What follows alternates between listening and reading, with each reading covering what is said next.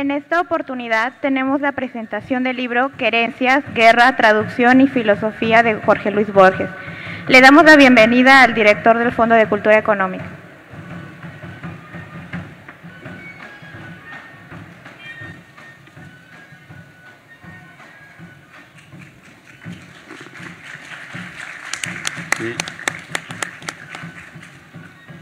A ver si nos dejan la, el paso libre de la música para poder empezar. Ah, es el vecino. Bueno, tendremos acompañamiento musical. Pues eh, me es muy, muy grato recibir a todos ustedes para dialogar y para oír la presentación del nuevo libro publicado por Fondo Cultura Económica de Efraín Cristal. En esta ocasión está acompañado de dos personalidades que enriquecen esta plática y esta presentación, Fernando Carballo y Alonso Cueto, a quienes les doy la bienvenida y que sin más les dejo con Efraín Cristal, Alonso Cueto y Fernando Carballo para no robar más tiempo en estas presentaciones tan cortas en la FIL Lima 2022. Efraín, bienvenido y pues muchas gracias de nueva cuenta por aportarnos estas obras tan importantes de tus análisis literarios. Muchas gracias y adelante.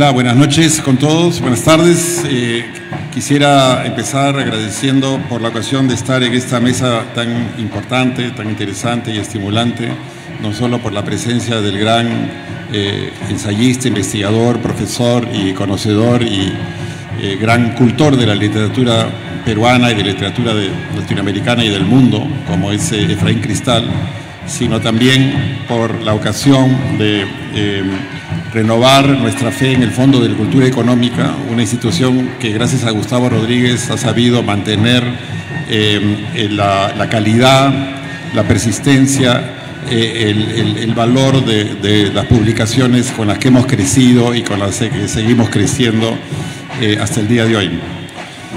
quisiera decir que en este magnífico libro, Efraín Cristal analiza tres aspectos esenciales de la obra de Borges, y me atrevo a decir que habla de tres temas universales en la vida de cualquiera de nosotros.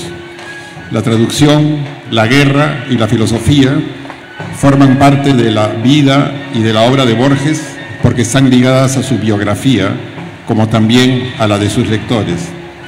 Habiendo sido educado en inglés, como todos sabemos, la idea de la traducción es un asunto vital, esencial a la experiencia del maestro argentino a propósito del libro, me hizo recordar que alguna vez leí en alguna entrevista suya que Borges leyó primero el Quijote en inglés y que cuando lo leyó en español le pareció que era inferior a la versión inglesa. En su capítulo sobre la traducción, este libro recoge una frase brillante que aparece en el diccionario de Oxford y que recuerda esta historia. Borges dice ahí que el original es infiel a la traducción. El original es infiel a la traducción.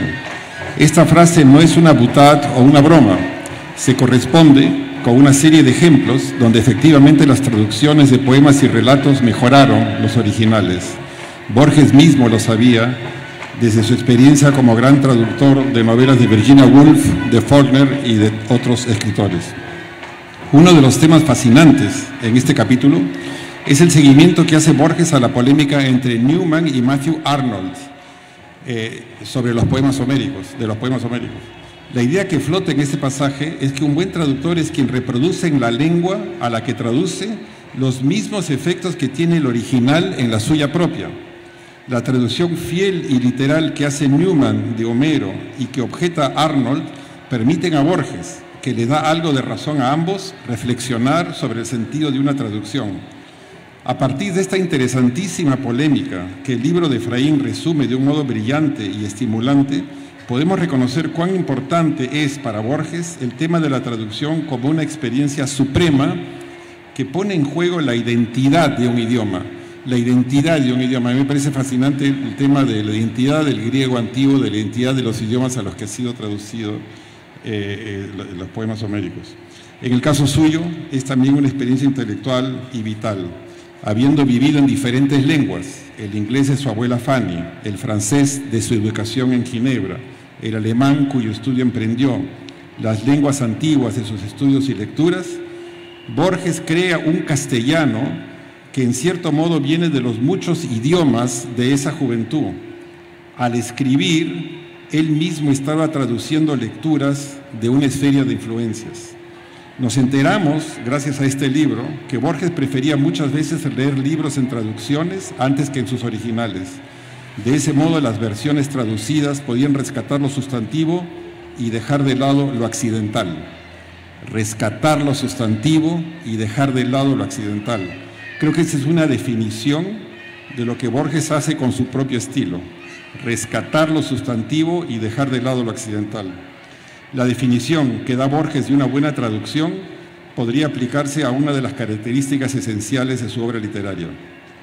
Novalis, según nos recuerda este libro, señala que todo trabajo literario es un trabajo de reescritura. Es por eso que todo escritor es también un lector de la obra que está escribiendo. Todos los escritores modifican lo que están leyendo desde su perspectiva de lectores, así como todos los lectores también son escritores de la obra que leen. Escribir, leer, traducir, todos son etapas indiferenciadas de un proceso. Podríamos decir, imitando a Borges, que son etapas sucesivas y simultáneas. Este proceso es el de un amor a las palabras, considerar a las palabras no como instrumentos, sino como fines en sí mismos, como talismanes y amuletos que nos ha dado la historia del pensamiento. Siempre he pensado que el lenguaje es el invento humano más sofisticado y más complejo.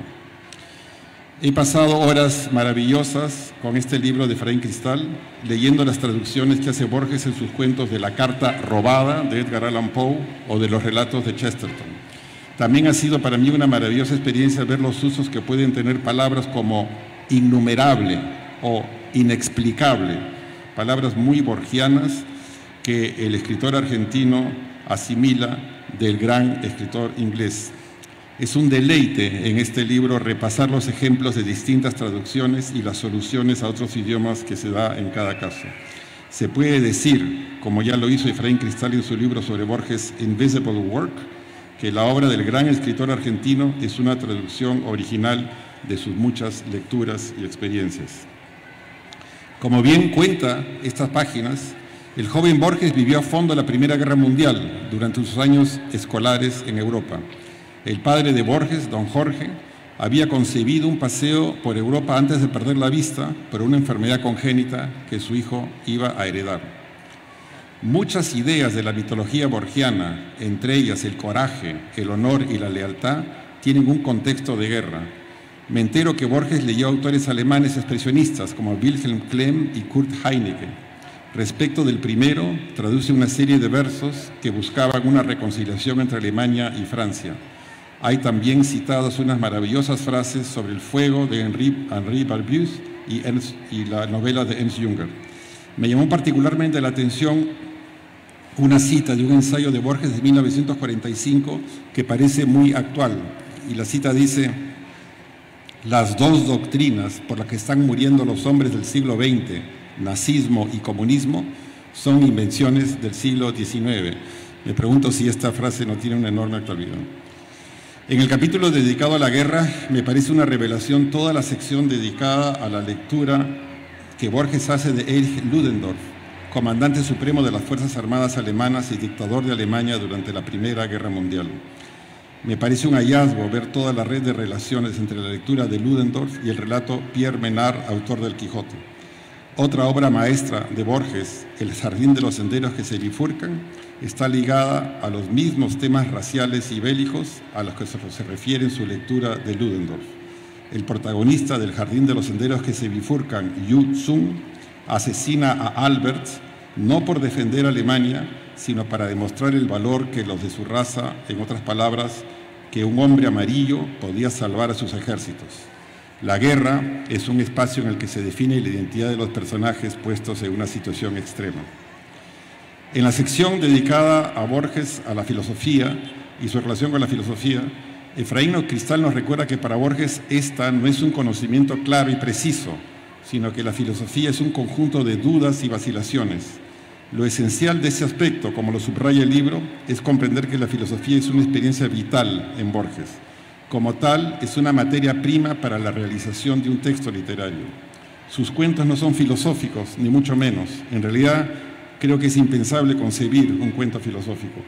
Los relatos de Borges parten de una experiencia filosófica, incluso de una filosofía con la que no está de acuerdo o de la que recela, para construir una obra de ficción en base a esa experiencia. Schopenhauer y Berkeley, con su visión de la voluntad como creadora de la realidad, han significado puntos de partida valiosos y fructíferos en los relatos del gran escritor argentino.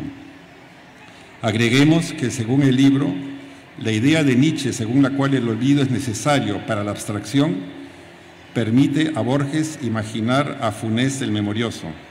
Títulos contradictorios de sus obras, como Historia de la Eternidad o Nueva Refutación del Tiempo, son una muestra de la idea de Borges de la filosofía como un conjunto de paradojas que en él están subrayadas por el humor y la ironía.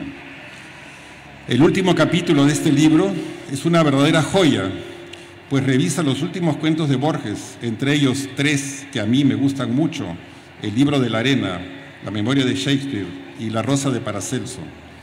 Estos relatos son ejemplos de la sencillez y la convicción de su imaginario en estos cuentos ya no pretendía ser brillante o aparatoso como lo, como lo era el artífice de ficciones o del Aleph. Prefería ser directo en las imposibilidades dignas de sus lectores, como dice Efraín Cristal. Me parece pertinente una cita de una entrevista de Borges a Antonio Carrizo. Si la imaginación lo acepta, ¿qué importa lo que la mera lógica diga? La guerra, la traducción y la filosofía son aspectos de un asunto esencial en Forges, la relatividad de la experiencia, la indefinición de la realidad y el misterio del universo. Borges siempre jugó con la idea de las revelaciones sucesivas, siempre incompletas de ese misterio. Este es un libro que parte de esa verdad en torno a la relatividad absoluta, un núcleo en la vida de Borges. Es también un libro que nos recuerda el poder del misterio en la obra de un gran artista. Querencias de Efraín Cristal nos acompaña en nuestra ruta eterna, llena de caminos que siempre se bifurcan de nuestra lectura de Borges, de la literatura y de la vida. Muchas gracias.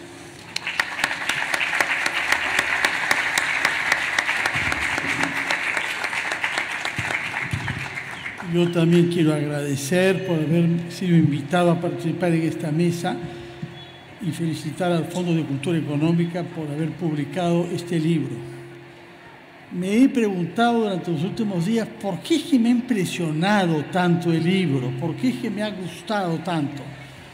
Quizá la respuesta debe comenzar con el título genérico, que es la bella y desusada palabra querencias.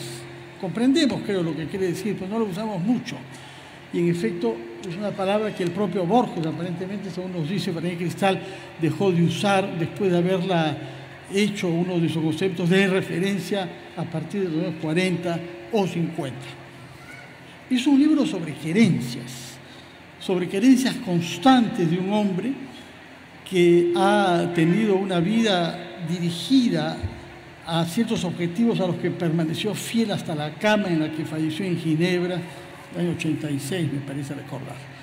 Eh, acá lo interesante esas tres gerencias, las que ha mencionado Alonso Cueto, traducción, que es a la que se dedica más espacio en este libro, acompañará a Borges, según nos enteramos desde que era niño, cuando hace una primera traducción de Oscar Wilde hasta la época final de su vida, ya con cáncer, que lo había condenado, cuando traduce un texto de literatura medieval finlandesa.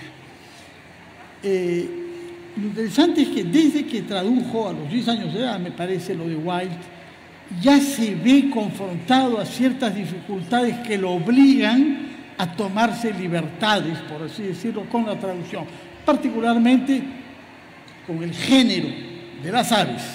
Por ejemplo, golondrina es un ave característicamente en femenino en castellano y no lo es en otras lenguas. Y el texto contiene la palabra golondrina, así como otras aves, que hay que poder pasar al castellano manteniendo el juego con los adjetivos. Es mucho más complicado cuando no se trata de un ave, sino de la luna, que, que es de género masculino, en las lenguas germánicas a la inversa que el sol.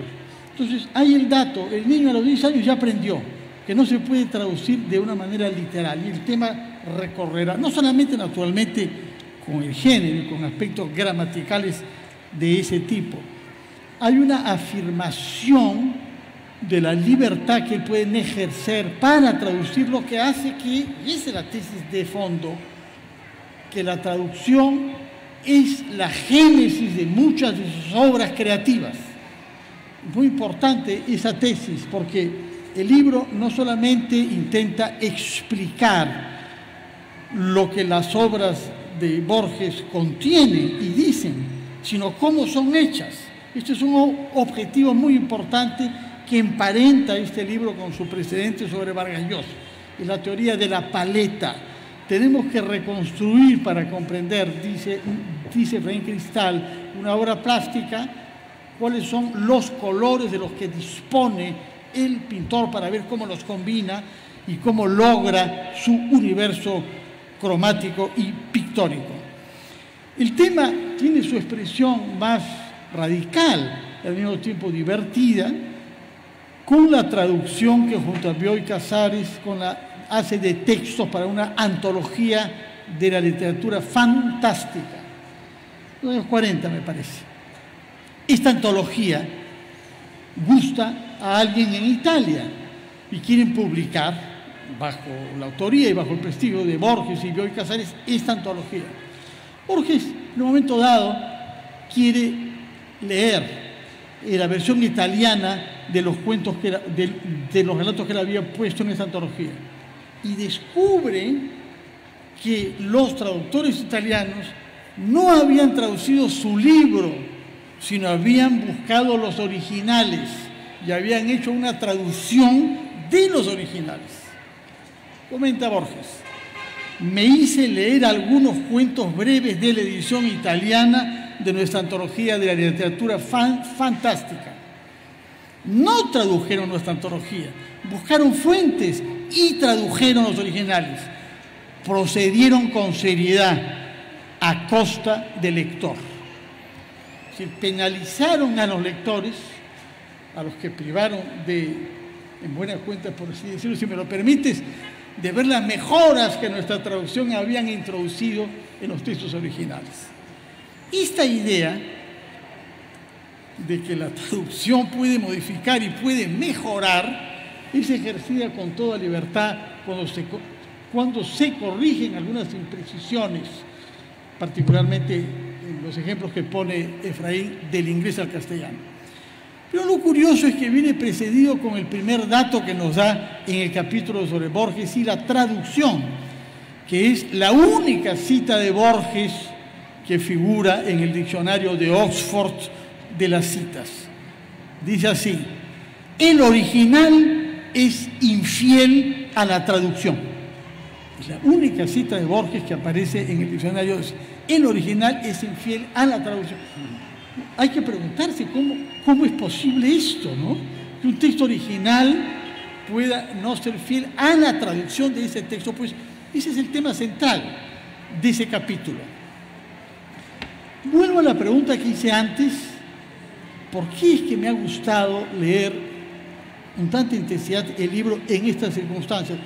Terminado por decirme que estas gerencias, estas tres gerencias, tiene que ver con lo que estamos viviendo como país, porque vivimos en una especie de guerra fría, en el sentido de campos definidos, uno de los cuales rechaza de hablar con el otro y no busca pactar nada, consensos de nada, sino eliminar al otro campo.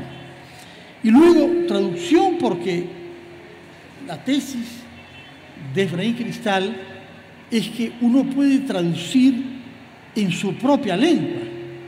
Yo quisiera que nos explique qué cosa significa traducir del castellano al castellano y, si este ejercicio no es un ejercicio que nos permitiría respetarnos más unos a otros y comprendernos más unos a otros. De ahí que surja el tema de la filosofía tal y como lo ha explicado eh, Alonso Cueto.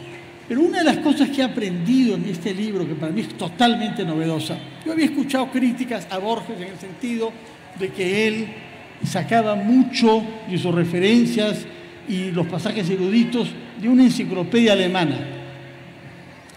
Acá me he enterado cuál era.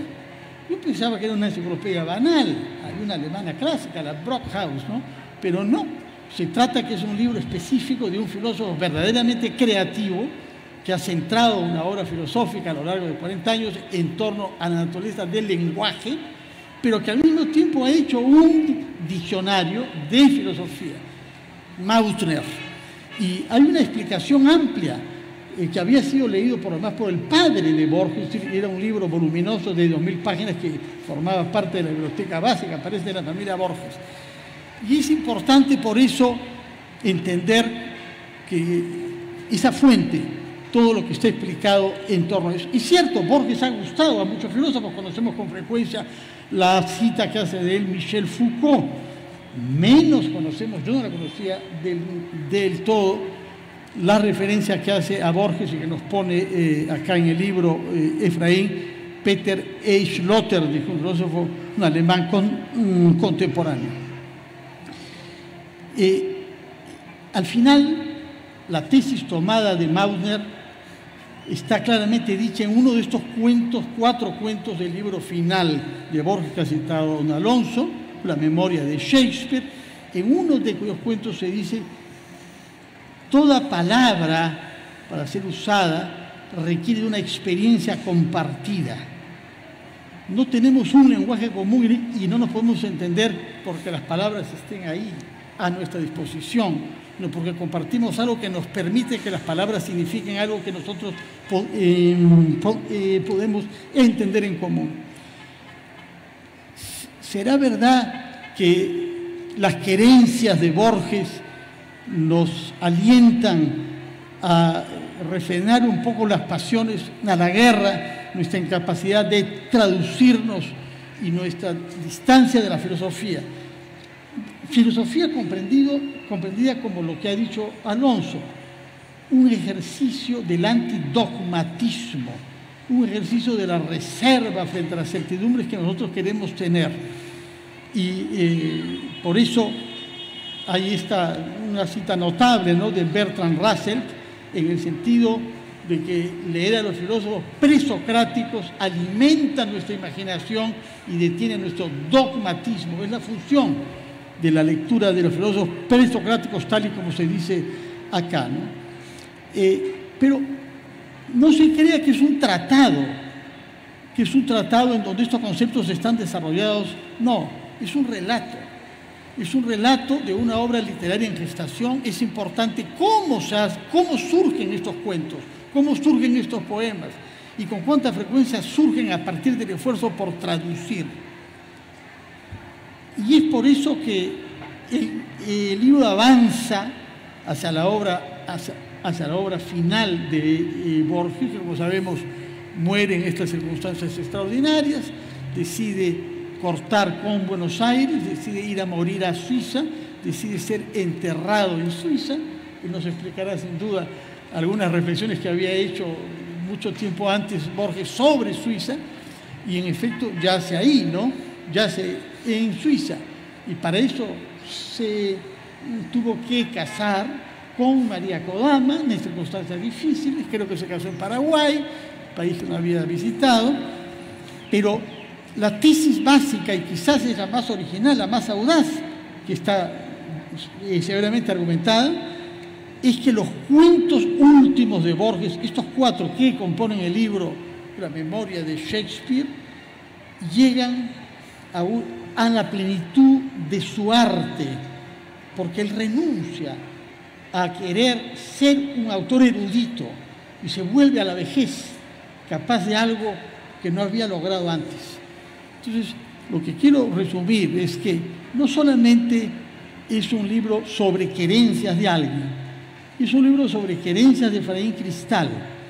Y la principal querencia en este libro quizá ni siquiera sea Borges, sino Murillo, que es la persona a quien está dedicada el libro, profesor de Efraín en California, profesor sobre Cervantes, autor Cervantes, que da lugar a los epígrafes de los diversos capítulos de ese libro. Que hay una querencia entretejida de Efraín, eso es lo que uno siente en el libro, a Murillo y a eh, Borges, Borges que es seguido hasta el final de su vida y del cual se dice que la plenitud de lo que él quiso hacer como escritor y como persona solo se consigue en esos cuentos que tiene el mérito de eh, explicar, penetrar, pese a que en general suelen ser considerados de menos calidad que su obra anterior. Por eso, Efraín, te quiero agradecer sinceramente por,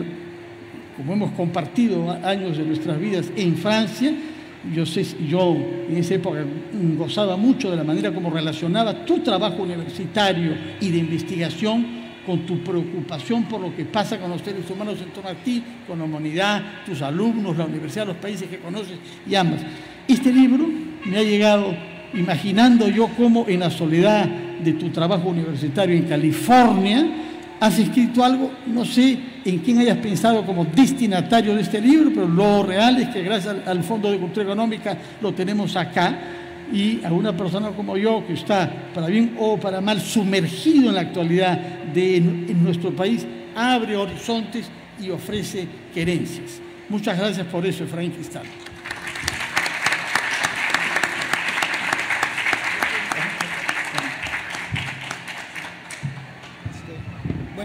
E, e, es, un verdadero lujo tenerlos a Alonso Cueto y a Fernando Carballo conmigo para conversar sobre, sobre este libro.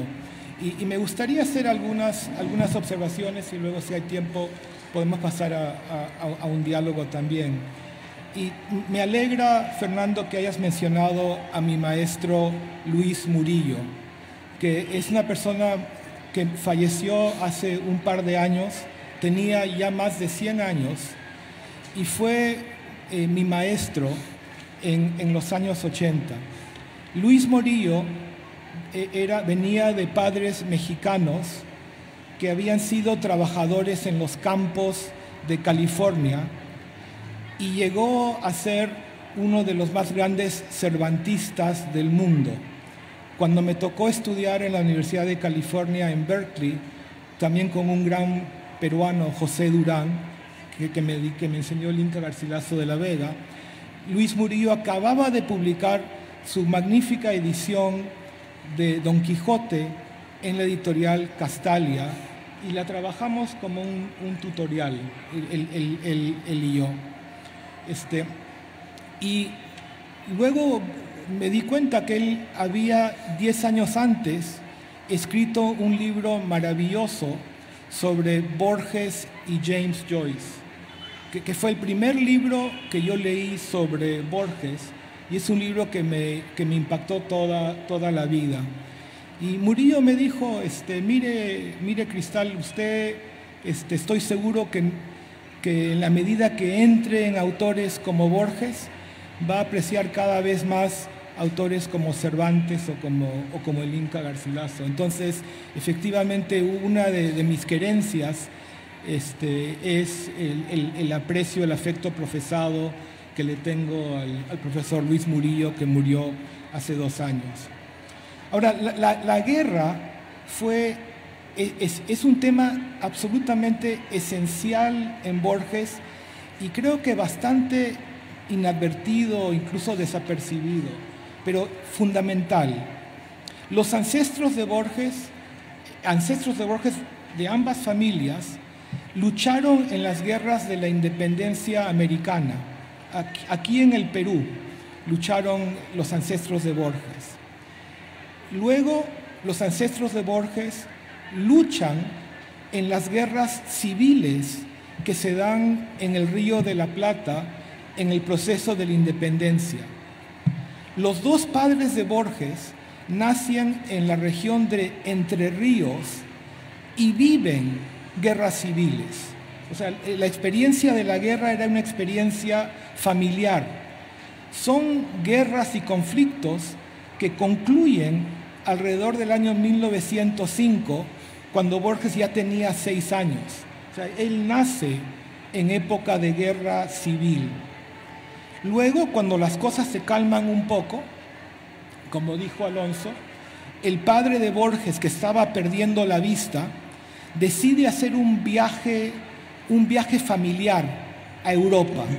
Quiere que sus hijos conozcan a Europa con él antes de que pierda la vista. Esto fue el año 1914. Llegan a Europa y estalla la Primera Guerra Mundial. Y lo que iba a ser un viaje de dos o tres meses, termina siendo un viaje de cinco años. Se quedan por la guerra. Y gracias a la guerra, como Alonso lo ha señalado, gracias a la guerra, Borges aprende idiomas. va a un colegio en Ginebra, un colegio francés, donde casi lo expulsan porque no sabía hablar francés. Sus condiscípulos firmaron una carta para que no expulsaran al niño Borges. Y su francés mejoró, lo aprendió. En el colegio también enseñaban el alemán.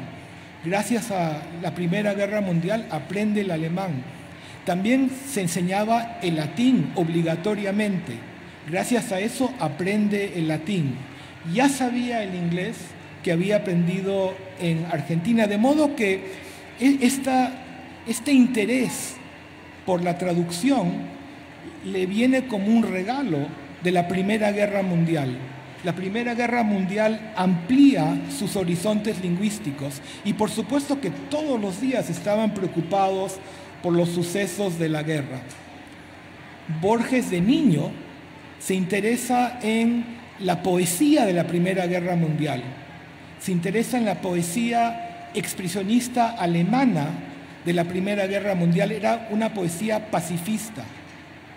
Y es el primer traductor al español de esta poesía, es el primer traductor de la poesía expresionista alemana al español.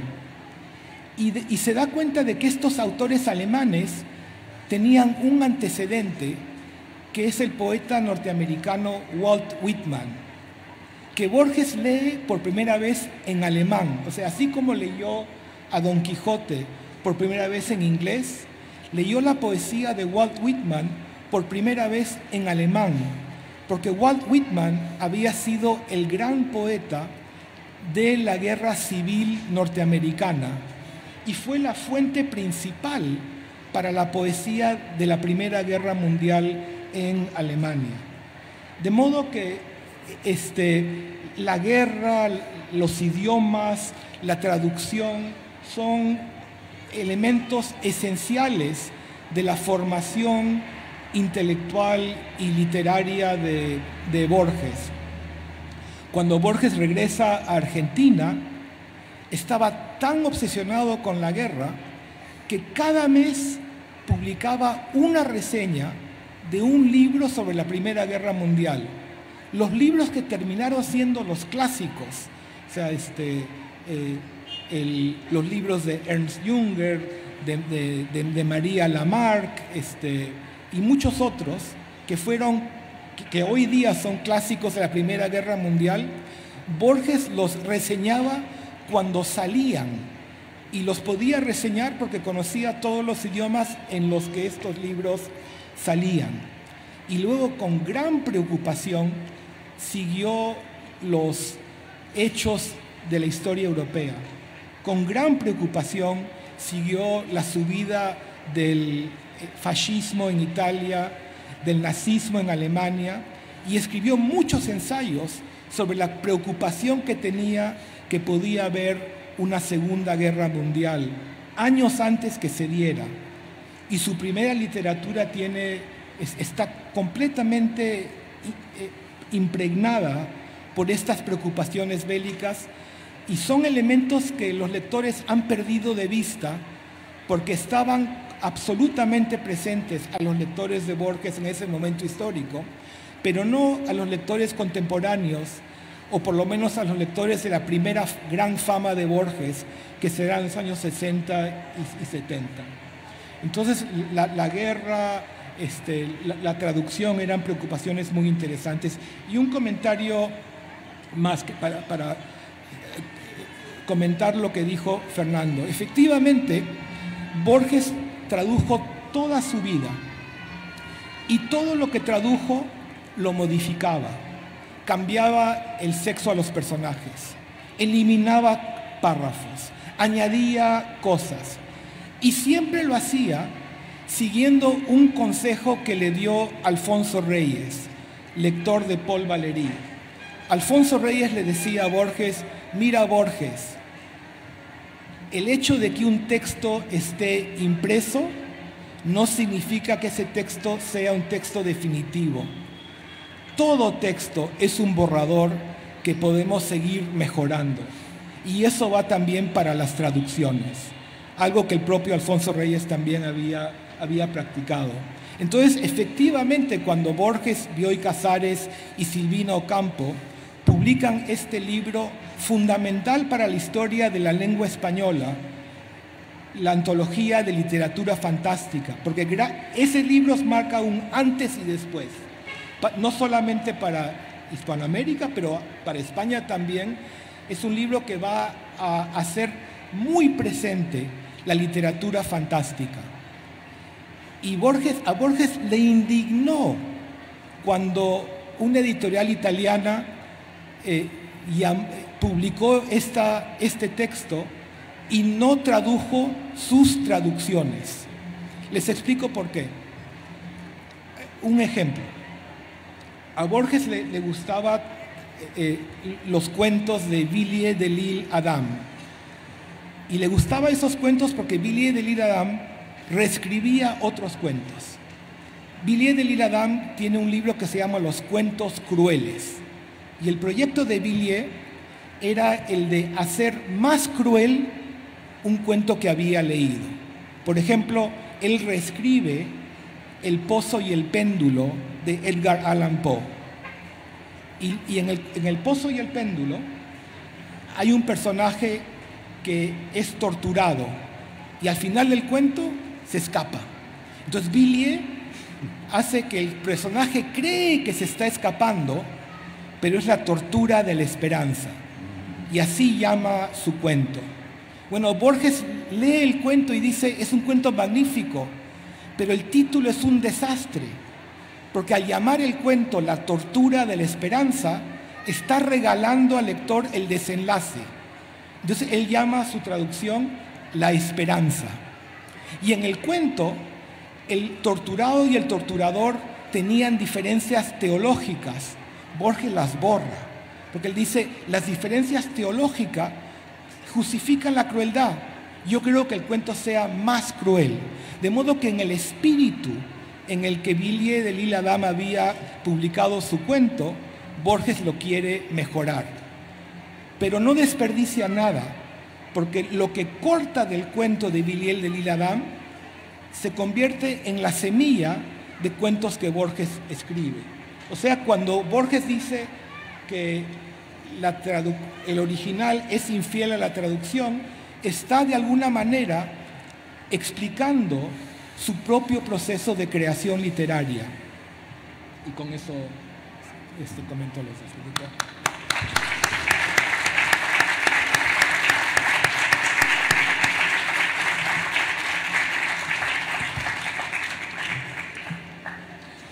eh, este, eh, eh, Efraín, tu relación con Borges es una relación muy antigua, es una relación, creo yo, eh, infinita como la que podemos tener todos los lectores de Borges. Es un autor infinito, es una lectura infinita, es una relación eterna. Cada relectura es una eh, nueva comprobación. Y me gustaría, me gustaría que nos dijeras si a lo largo de tu, esta, esta, historia de, de tu relación como lector de Borges, ¿Qué ha cambiado desde las primeras lecturas tuyas hasta este libro? Porque yo veo que este libro es un libro de un gran conocedor de la obra con de aspectos muy específicos. ¿Cómo es que ha cambiado tu, tu perspectiva de lector? La primera vez que leí a Borges fue cuando tenía yo este, 16, 17 años y me llegó a las manos Ficciones de Borges.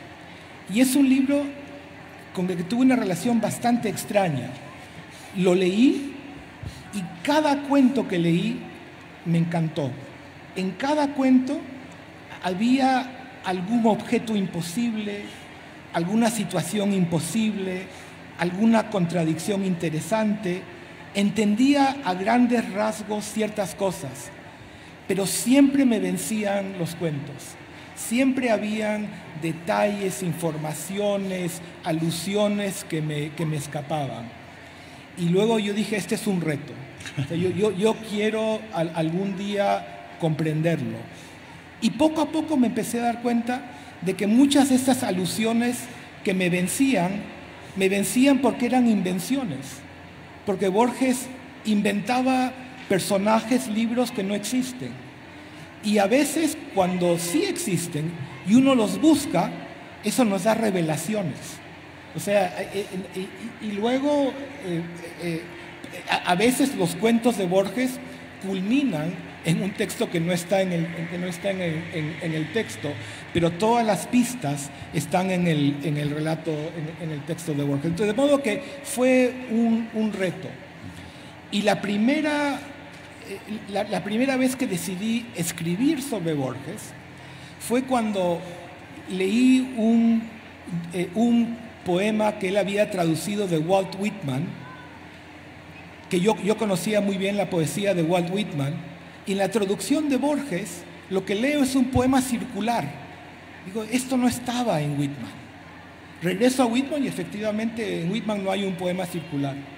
Entonces empecé a ver cómo Borges al, leer y traducir y transformar estaba creando su mundo literario que refutar el tiempo como preconizó Borges, de manera que robaremos dos minutitos, ya nos quieren hacer salir de la sala, para preguntarte algo que tiene que ver con unas tesis más fuertes del libro, que sus cuatro últimos cuentos son los mejores.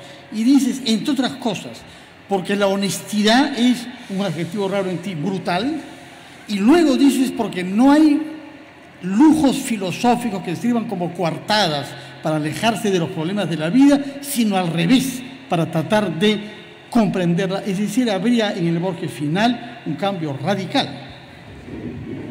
Lo digo rápido, Borges lo dijo varias veces, que a veces las complejidades de la primera, la, época más famosa, era para, para no avergonzarse. Él tenía miedo que sus lectores no aceptaran sus imposibilidades.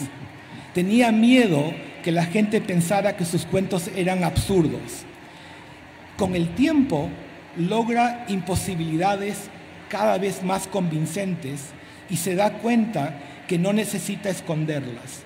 De modo que son los textos a la vez más transparentes y más complejos que escribió. Yo creo que tenemos que irnos, me parece haber comprendido, ¿no? Muchas gracias por su presencia y Efraín, muchas gracias.